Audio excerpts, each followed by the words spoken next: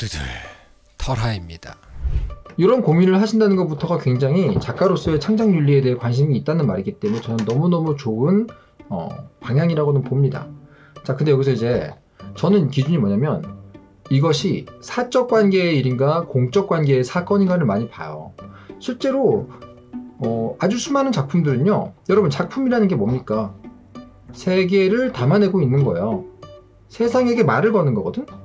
내가 그냥 단순하게 재미있으려고 그린다 하더라도 여러분들이 그려가지고 나만 본다는 게 아니라 누구한테 보여주겠다고 하는 순간 여러분들은 누군가한테 어떤 자극을 건넨 거예요. 친구 한 명 보라고 그림 많아도 그 친구에게 자극을 건넨 겁니다. 하물며 플랫폼에서 작가로 활동하겠다고 한다면 세상에게 뭔가 말을 건 거예요. 자극을, 자극을 건네준 거야. 그러면 당연히 거기선 영향을 받아요. 근데 그 영향 중에 어떤 사람이 상처를 받거나 힘들어할 수 있겠죠. 그거에 대해 고민을 하는 건 매우 중요합니다. 미천할 뛰는 생활툰 작가님 아시죠? 정말 그분도 짱인데 그 미날생을 보면 정말 잘 나와 있죠. 작가가 자기의 개인적 관계와 개인의 삶 속에서의 여러 가지 일들을 아무런 배려 없이 그냥 만화의 소재로 써버리게 되면 그건 그 사람의 삶을 도구로 사용하는 셈이 될 수도 있어요. 그거는 분명히 문제가 있을 수 있어요. 누군가의 어떤 부분, 그 사람이 본다면. 근데 또 동시에 어떤 게 있냐면, 실제로 현실 사회 속에서 어떤 일이 크 벌어졌어. 그게 이 세상의 어떤 모습이야. 어떤 종류의 범죄가 벌어지고 있고, 어떤 문제가 생기고 있어요. 그거에 대해 작가가 그리겠다고 한다면, 관련된 모든 사람들에게 가서 허락을 받는 건 일단 현실적으로 불가능하겠죠. 불가능합니다. 제 만화를 생각해보면, 어떠한 정신과적 증세로 고통받는 분들이 만약 내 만화를 봤어. 그러면 트리거라고 하죠. 내 만화를 본 걸로 인해서 굉장히 괴로워질 수도 있다는 걸 알아요. 일단 그럼 거기서 뭐가 필요할까? 내가 이 이야기를 왜 쓰려고 하는가를 작가가 알아야 돼요. 오, 예, 저, 저기 무슨 범죄, 범죄가 벌어졌다. 되게 재밌겠네. 범죄 피해자가 뭐라고 느끼건 말건 난 요걸 그리면 자극적일 것 같아. 너무 좋아. 쿠키 맛 봐야지. 요러고 그리는 거랑 그걸 이용해서 내가 그 무슨 얘기를 해주고 싶은지가 있는 작가는 다르다고.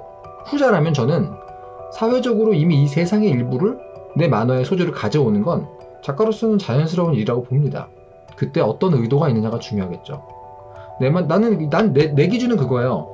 어떤 일로 인해서 고통을 받은 실제 현실 속의 어떤 인간이 그걸 소재로 삼은 내 만화를 봤을 때, 직접 봤을 때 뭐라고 느낄까? 당장 괴롭더라도 결국은 위로를 받을까? 결국은 힘을 얻을까? 아니면 관심 없을까? 이쪽으로 난 그리려고 노력을 하거든요. 근데 그건 내, 그건 내 기준이니까 뭐 정답은 아니고 저는 그렇게 한다입니다. 기본적으로 저는 뭐 이렇게 꼭 내가 그렇다고 해서 무슨 누군가를 힐링해주고 위로해주는 만화만을 그려야 된다 이런 얘기를 하는 게 아니에요. 작가님이 100명 있으면 100가지 의도가 있다고요. 근데 다만 분명히 그 중에는 그리고 보는 사람이 상처를 받을 거에 그렇게 관심 안 갖는 작가들도 있어요. 저는 개인적으로 그냥 그것에 대해서 뭐 동의하지 않는다 정도 나는 그렇게 하지 않을 것이다 정도 왜냐면 작가가 창작에 대해 갖고 있는 마음의 대가나 결과는 그대로 본인이 받게 된다고 믿고 있기 때문인데 정답은 아닙니다. 다만 제 말이 참고가 되신다면 저는 반갑죠. 그리고 반대로 어떤 분이 저 또 착한 척 하고 있네.